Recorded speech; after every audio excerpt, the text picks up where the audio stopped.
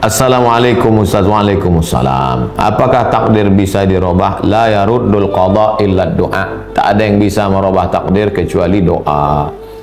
Jika ada takdir seperti apa yang bisa dirubah itu?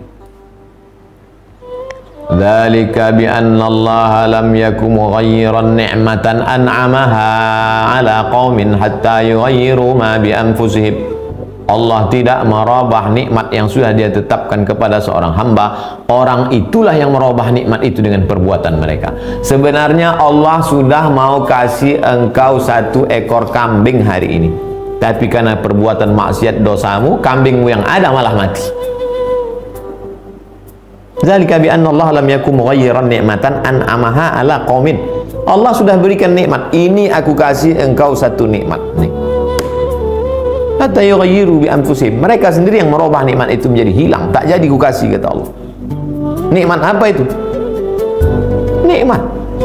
In ta'uddu nikmat Allah la tuhsuha. Kalau kau mau hitung nikmat Allah, oleh sebab itu urus urusan engkau, biarkan Allah mengurus urusan. Urusan kita apa? Sami'na wa ata'na. Beribadah, amar ma'ruf, nahi mungkar. Buat baik, jauhi dosa. Maka masalah-masalah hidup kita ini sebenarnya gara-gara kita banyak buat dosa. Tobat, tobat, tobat, mujahadah, habis mujahadah, khalwah uzlah, habis itu takwa, Allah akan selesaikan masalah kita insyaallah. Amin ya rabbal alamin.